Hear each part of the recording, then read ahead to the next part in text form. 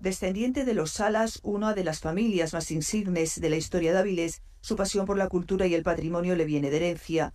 Licenciada en Geografía e Historia, su carrera profesional fue heterogénea. Trabajó en Dublín e Irlanda para en 1986 retornar a España y tras contraer matrimonio con el que todavía hoy es su marido, el arquitecto avilesino Juan Antonio Crespo, ambos se trasladaron al fin a Salinas donde aún residen. Cuando acabé la carrera, pues me fui a trabajar a un colegio de Irlanda Em, que bueno, fue duro por un lado, pero por otro lado, en aquella época no había Erasmus, entonces era la manera de, irte y conocer otros mundos y abrir un poco horizontes. En 2001, ya con 38 años, vio la oportunidad de dedicarse a su verdadera pasión, la restauración. Se matriculó en la Escuela Superior de Arte del Principado.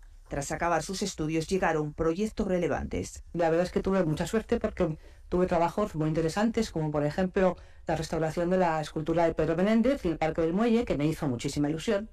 Eh, por la trascendencia que tenía, un banco de los canapés, que también es una obra muy desconocida en Avilés, pero muy interesante, y el retablo de Santa María de Cancienes, que es un retablo magnífico, que proviene del convento de la Merced.